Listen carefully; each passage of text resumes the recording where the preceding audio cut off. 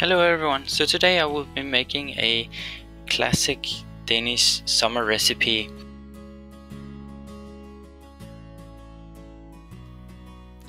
And the results are pretty nice as you can see here.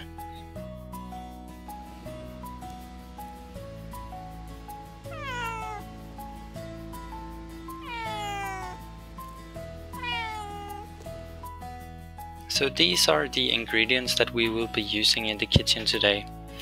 And we won't just be using the uh, cauliflower and shrimps, we will also be making a homemade mousseline sauce as well. but first you start with cutting off the uh, leaves from the cauliflower.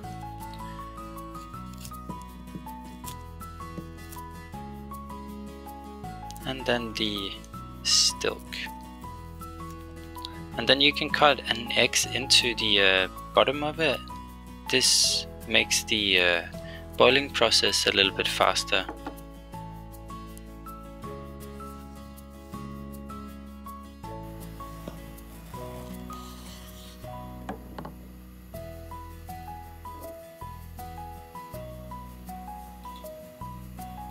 So the recipe takes us back to the 80s where it was cooked in the Danish kitchens.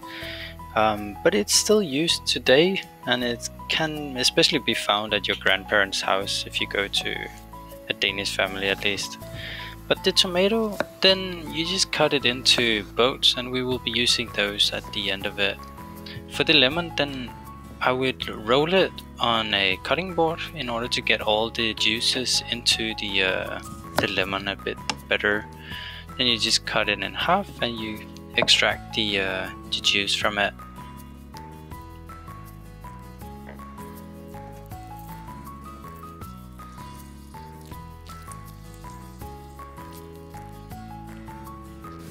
And then you cut a few chives for garnish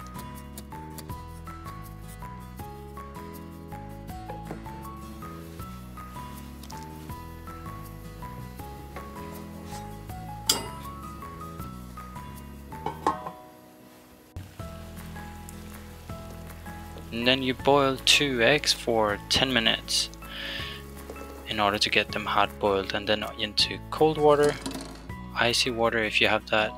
And then you just cut those into boats as well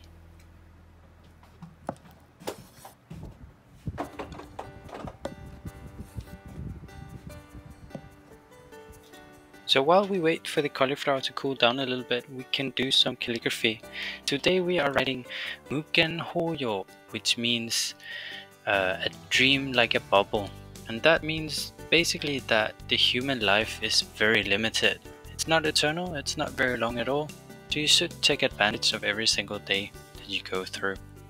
So please keep that in mind for today as well. But let's go back for cooking again.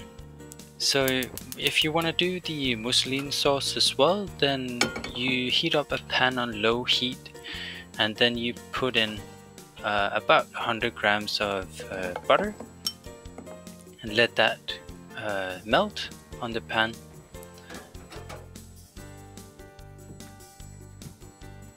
And then you take two yolks, you salt those with a little bit of salt and then you whisk them together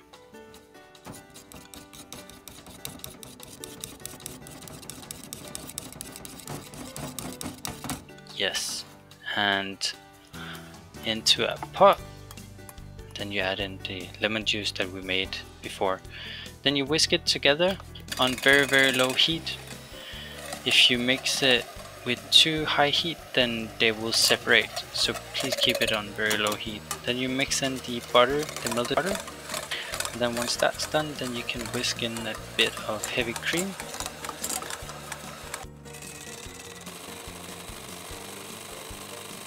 Once that is added, then you mix that together.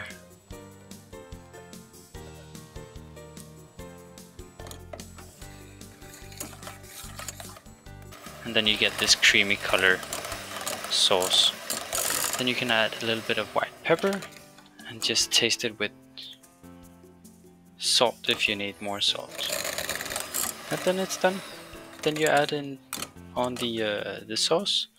First and then the shrimps. And we make it very luxury today so we add a lot of shrimps.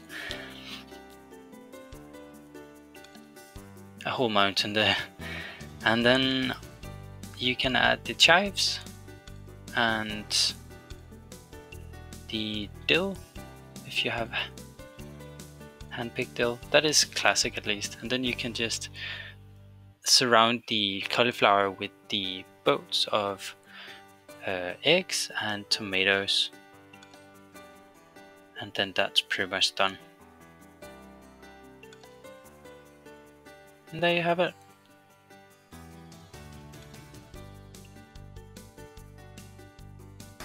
So we finished the uh, the cauliflower recipe here. Let's just dig in.